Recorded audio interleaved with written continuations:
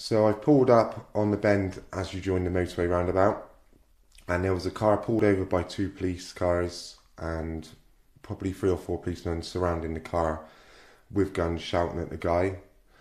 Um, the guy was sat in the car, calm, with his hands on the steering wheel, looking, ignoring the police, looking at the front windscreen. And then it, it all happened, it was probably 10 15 seconds.